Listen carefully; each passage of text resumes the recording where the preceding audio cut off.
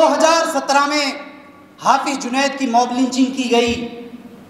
चलती हुई ट्रेन में ऐसा नहीं है कि किसी जंगल में, किसी वीरान जगह में हाफिज जुनैद को कत्ल किया गया। साथियों, चलती हुई ट्रेन में हाफिज जुनैद को चाकुओं से गोद गोद कर मारा गया।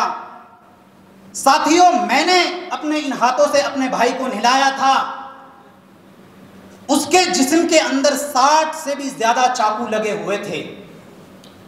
साथियों, आप तस्वुर नहीं कर सकते कि ट्रेन के अंदर जहाँ पैर रखने के लिए जगह नहीं होती है, वहाँ साठ चाकू चलाने के लिए जगह कैसे हो गई? और हम अपने बच्चों को नहीं बचा पाएँगे इन लोगों से।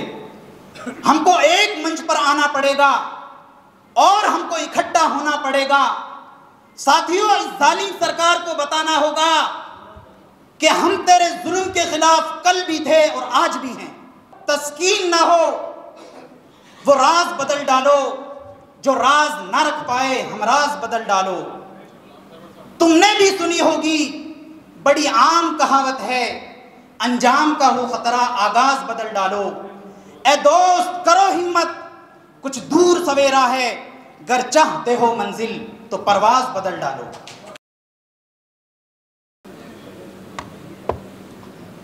मेरे मोहतरम बुज़ुर्गों और दोस्तों और डाइस पर बैठे हुए मुआज़ मेहमान, सबको मेरे और मेरे परिवार की तरफ़ से आप लोगों को सलाम। साथियों, आप लोगों को इस तरह के सम्मेलन करना और मजलूम लोगों की आवाज़ को उठाना। यानी कि अगर मैं कहूँ कि हाफिज जुनेद के भाई को एक हौसला मिलता है, एक उम्मीद मिलती है। साथियों, आज हम अपनी लड़ाई मजबूती के साथ लड़ रहे हैं। 2017 में हाफिज जुनैद की मॉब लिंचिंग की गई। चलती हुई ट्रेन में ऐसा नहीं है कि किसी जंगल में, किसी वीरान जगह में हाफिज जुनैद को कत्ल किया गया। साथियों, चलती हुई ट्रेन में हाफिज जुनैद को चाकुओं से गोद गोद कर मारा गया। साथियों, मैंने अपने इन हाथों से अपने भाई को नहलाया था। उसके जिस्म के अंदर साठ से भी ज़्यादा चाकू लगे हुए थे। साथियों, आप तस्वुर नहीं कर सकते कि ट्रेन के अंदर जहाँ पैर रखने के लिए जगह नहीं होती है, वहाँ साठ चाकू चलाने के लिए जगह कैसे हो गई? साथियों,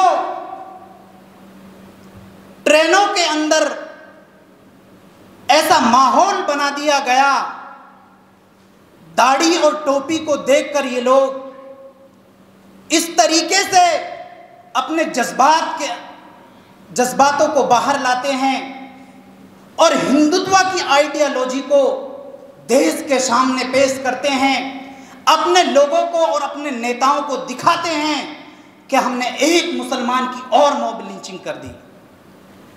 साथियों, हमको अपनी लड़ाई लड़ते हुए सात साल हो गए और बहुत जल्द इंशाअल्लाह अल्लाह ने चाहा तो ये देश हाफिज जुनैद के कातिलों के बारे में सुनेगा कि उनके कातिलों को सजा हुई वो जेल की सलाखों के पीछे जा रहे हैं।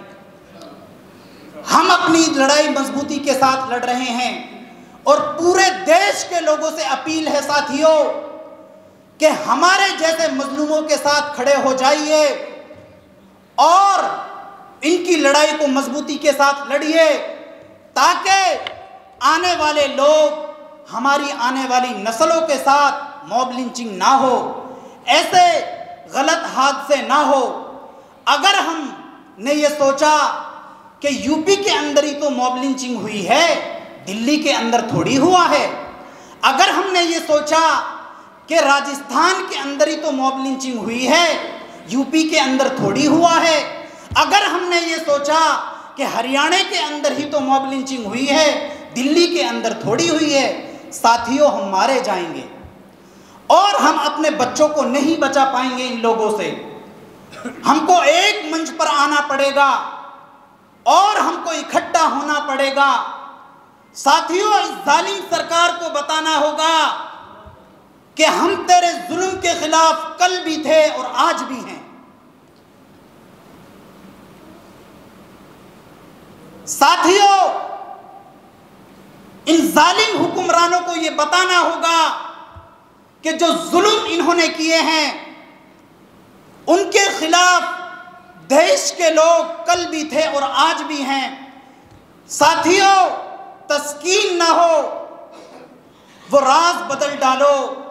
जो राज ना रख पाए, हम राज बदल डालो। तुमने भी सुनी होगी, बड़ी आम कहावत है, अंजाम का हो खतरा, आगाज़ बदल डालो।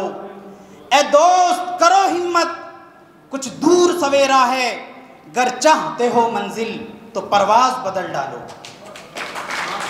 हम लोगों को अपनी परवाज बदलनी होगी, और एक मंच पे आकर अपनी लड़ाई लड़नी होगी। इन्हीं चंद बातों पर मैं अपनी बात को ख़त्म करता हूँ। व आखिर दावाना अनिलहमदिल्ला रबालमीन